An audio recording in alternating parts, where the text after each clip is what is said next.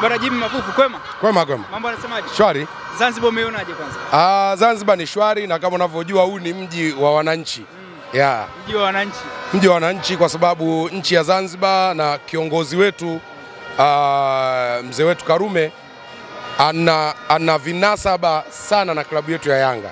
Ndiye, ndiye rais ambaye pengine alijiweka wazi mapenzi yake makubwa kwa klabu yetu uh, ukiachilia Kikwete, lakini Karume alifanya makubwa kwenye timu yetu ya Yanga. Yeye ndiye alifanikisha ujenzi wa jengo la Kaunda. Kwa hiyo tukija hapa Yanga tunakuwa tumekuja nyumbani kwetu yeah. Kwa maana hiyo mechi kuletwa katika uwanja wa New Amani Complex ilikuwa na maana kubwa sana kwenu. Ilikuwa na maana kubwa sana kwetu kwa sababu kwanza tumekuja kumwenzi mzee wetu mzee Karume, lakini pia tumekuja kumletea timu yake bibi yetu mama Fatuma Karume ambaye ni kiongozi wa klabu yetu, yuko kwenye bodi ya wadhamini, ni mjumbe wa kudumu.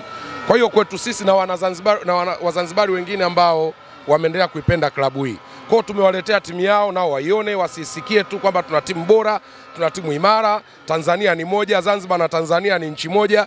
Wenzetu wanakuwa hawaioni timu yao mara kwa mara. Kwa hiyo viongozi wetu wamefanya busara kubwa sana kuwaletea timu yao. Sawa, pamoja na hivyo tutazame sasa mchezo wenyewe. Mechi ya kwanza ushindi wa goli moja kwa sifuri ugenini. Leo mpo nyumbani, matarajio yako na matumaini ni yapi? Mechi ya kwanza kilicho, ki, kulikuwa na sababu kwa nini tumeshinda goli moja. Tulishinda goli moja kwa sababu eh, kafu wanatakiwa waangalie pia ratiba zao. Wachezaji wetu walikuwa wamesafiri sana, unaona kama hawa eh, wanaocheza Zambia wakina Chama walikwenda nchi, walisafiri nchi karibia mbili hawa wakina Dube walisafiri, hawa Tanzania wakina Mdathiri walisafiri.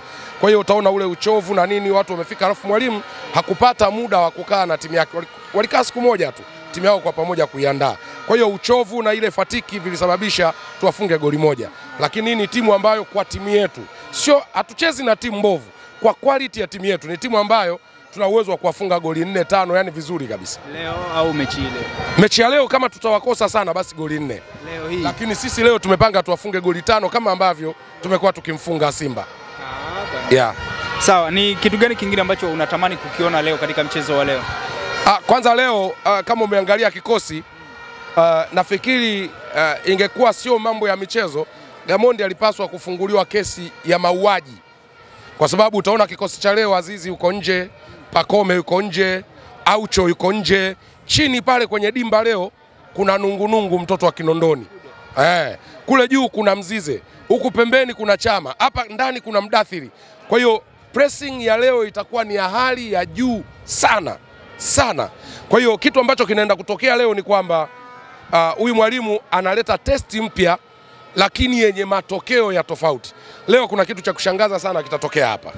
Akipoteza si mtamgeuka tena, mtasema ameanzisha kikosi ambacho sicho? Yanga hii hata kama timu wapangi huyu mwalimu, yani unapanga wewe, unaweza kurusha shilingi tu kaka, kianguka kichwa unaweka Pakome, kianguka Samaki unaweka Aziziki ama unaweka eh, Mudathiri ama unaweka bareke na mtu yeyote. Kwa hiyo tuna timu imara, tuna viongozi imara, kwa hiyo tuna, tuna tuko vizuri kusema za ukweli. Shukrani sana. Okay.